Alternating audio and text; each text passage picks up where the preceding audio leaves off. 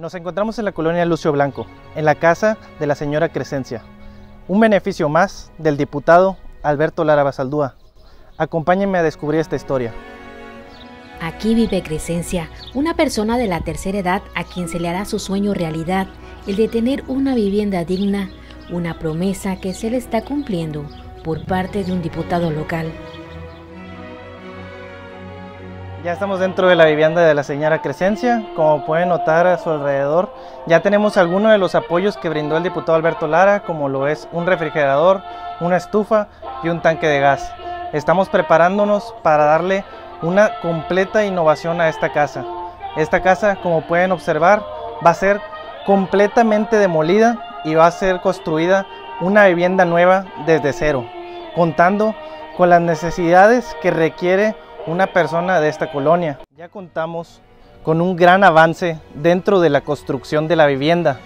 Como podemos observar, dentro de los próximos días se estará dando por finalizada esta construcción. Ya contamos con un gran avance de esta vivienda, como lo son sus cimientos y la plataforma donde será construida. En estas condiciones vive Crescencia, una mujer que ha salido adelante, ha superado barreras y que cuenta con el apoyo de ciudadanos que la acercaron con el legislador. Platicamos con Crescencia y antes de dialogar, desinfectamos manos y micrófono. Gracias. Próximamente usted va a tener una vivienda nueva. Ay, sí, gracias a Dios.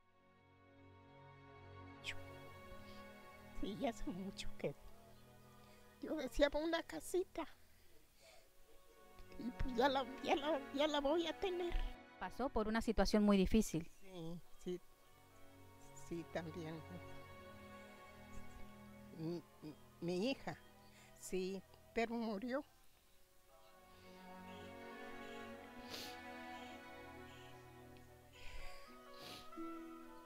Señora Crescencia, estaremos nosotros al pendiente de la entrega de su vivienda en los próximos días por parte del diputado. Está bien, gracias. Les doy las repetidas gracias.